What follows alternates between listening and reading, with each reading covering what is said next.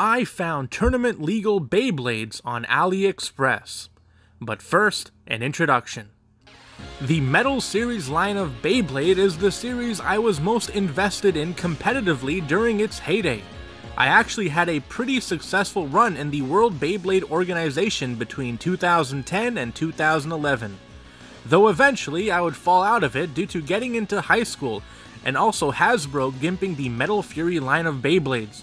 This year I turned 26, and 26 is a big number, which had me reflect on my past. And reflecting on my past also led to nostalgia. One of the things I was nostalgic about was Beyblade. Unfortunately, buying old Beyblades is expensive, or so I thought. On AliExpress, you can find Takara Tomy branded Beyblades for a reasonable price, so I bought a bunch of them. I was a bit iffy on them since it was AliExpress, but they were actually branded Takara Tomy. Some of them were even the South Korean Sonokong Beyblades. However, after doing some more research, I found out these are what are called mid-fake Beyblades. They're almost a one-to-one -one copy of the original, but have some dubious background. IlinNuc, Damayo GT, and Beyblade Dad made videos covering these, which you should definitely watch if you have not already. Due to these being so close to the original, they are actually, at the time of making this video, tournament legal in the World Beyblade organization. So while these may not be something for collectors, for people that just want to battle with them, these should be fine.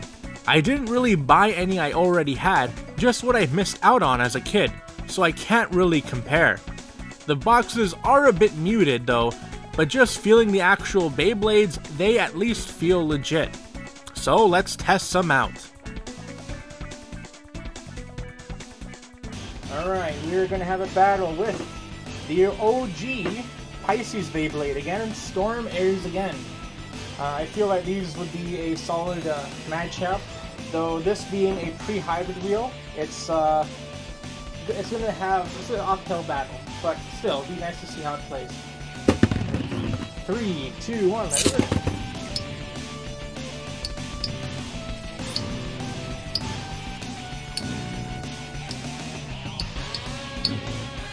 Oh, got a little bit of a smash attack going on right here.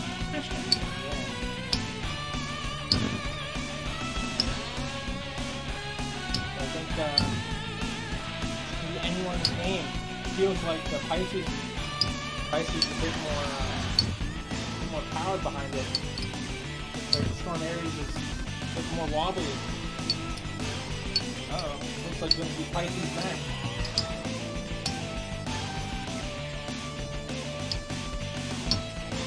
go.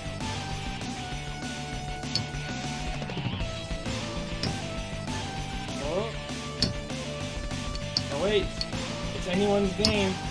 It's all it's all in who gets the under hits first.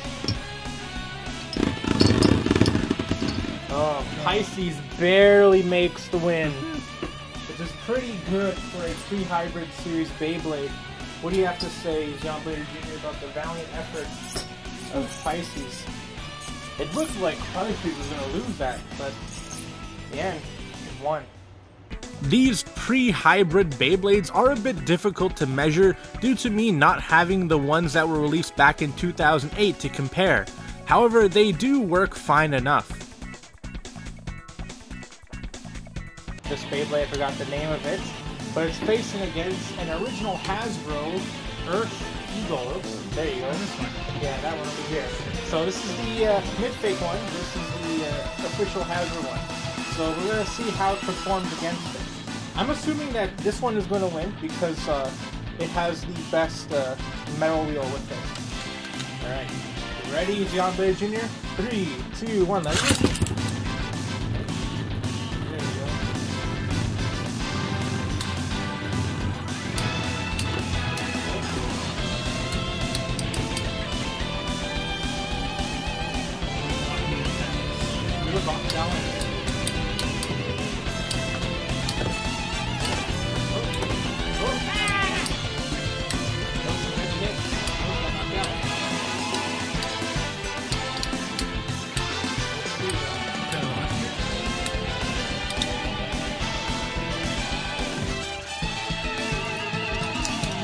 Down.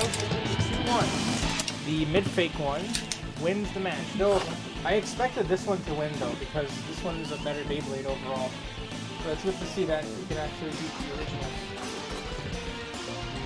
Alright, so what you have to say about this Beyblade, Yeah. Oops.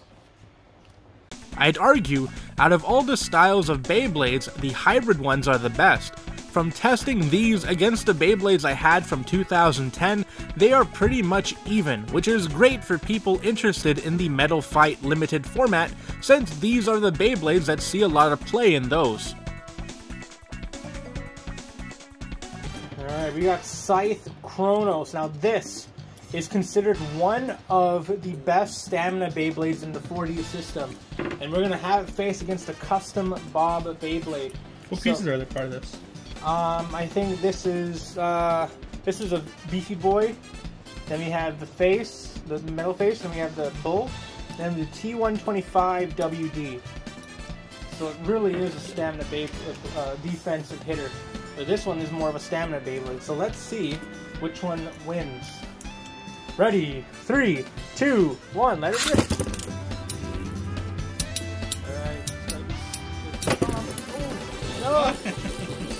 Not again! No! What happened? Why did it do that? I think it does that.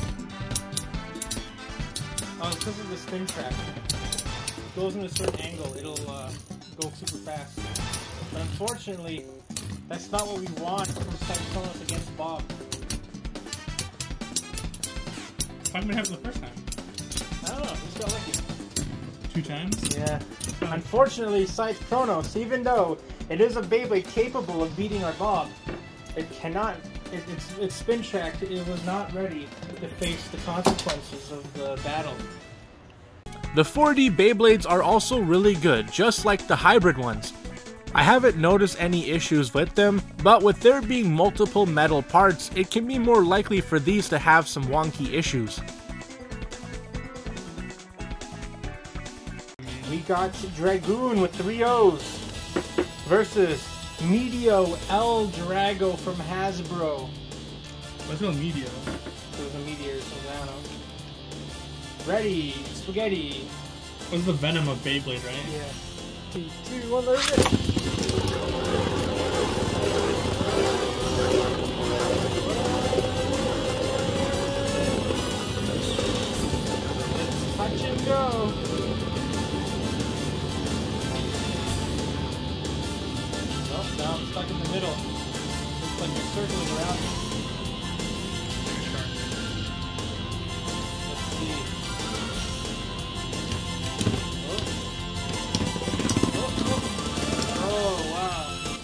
So these are pretty close Beyblades.